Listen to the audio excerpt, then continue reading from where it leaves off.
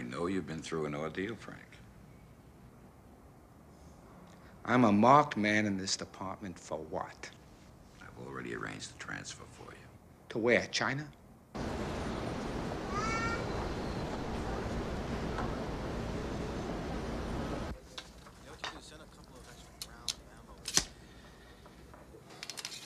That takes a 14-shot clip.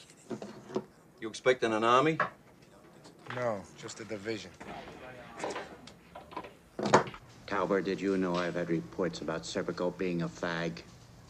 He used to hang out in the BCI washroom.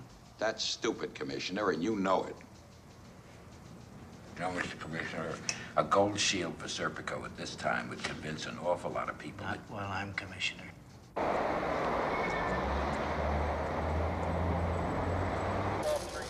Sergeant Grissom, call roll call, man.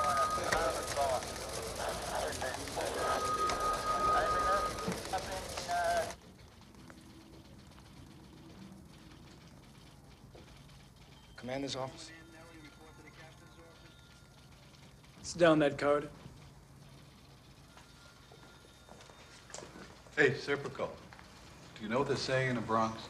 That you spilled your guts to the grand jury. Say it isn't so, Serpico. It isn't so. We know how to handle guys like you. I had to cut your tongue out. Hey, hey, hey, Don't move.